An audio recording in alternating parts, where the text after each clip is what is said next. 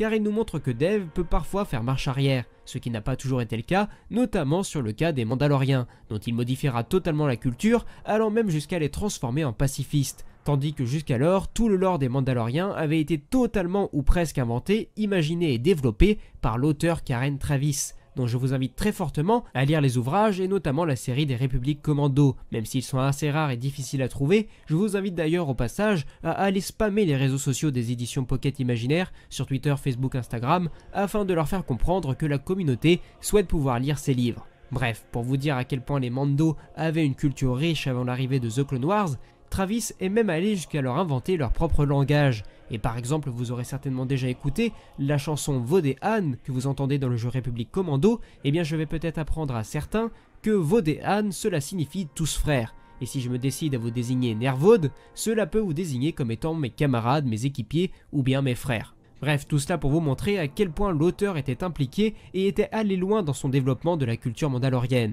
Et pourtant, cette fois-ci, cela n'a pas empêché Filoni ou Lucas de balayer tout ça discrètement sous le tapis sans faire même trop d'excuses à l'auteur en plus. Bref, c'est aussi pour vous faire comprendre que Dave Filoni, même si c'est quelqu'un que j'apprécie beaucoup et que c'est l'un des rares symboles d'espoir qui reste encore chez Lucasfilm actuellement, il est également très loin d'être un ange,